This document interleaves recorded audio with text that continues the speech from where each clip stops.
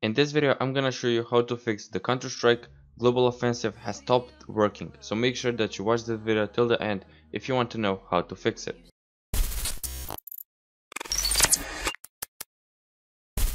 Before we start, I just want to say subscribe to my channel and like this video if it helps, and let's start. So first of all what you want to do is open Steam, and now right click on Counter-Strike Global Offensive, open up the properties go to the local files tab click on browse local files and now delete the CSGO application. So just right click on it click on delete and now what you want to do is go back to Steam and click on verify integrity of game files and now just wait for it to finish. Once it's done just click on close. And you can now minimize the Counter-Strike Global Offensive properties. What you want to do now is open up the CSGO folder so double click on it.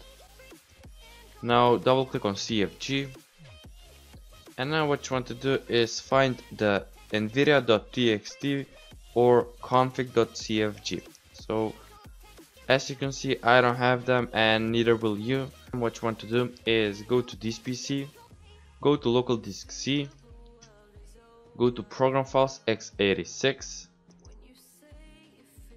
open up the steam folder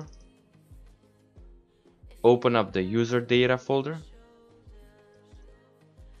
and now open up any of these folders with the numbers. So basically it should be the first one.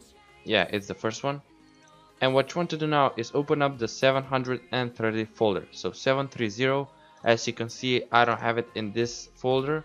So if you have more than one uh, folder in the user data folder then just open it open the one with the 730 folder. And once you find it open it up open up the local folder and now open up the CFG folder so as you can see, here's the config.cfg file and the video.txt or the notepad file. What you want to do now is open up the config.cfg file in notepad. So you can do that by clicking on it, click on more apps, select notepad and click on OK. Okay, now what you want to do is simply click on Control plus F or go in Edit and find. And now type cl disable html motd click on find next and as you can see there it is. What you want to do now is change the one to a zero. So just delete the one and type a zero. And click on file click on save and exit the notepad file. The second thing what you want to do is open the video text document. So double click on it.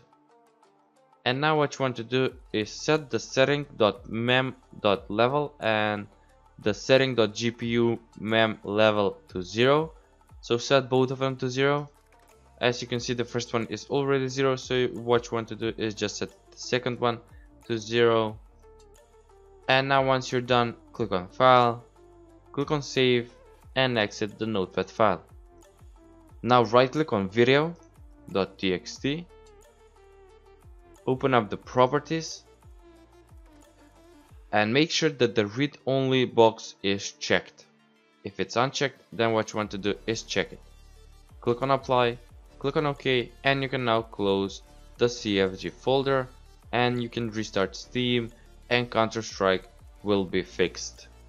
Thanks for watching, please subscribe to my channel and like this video if it helped. Bye.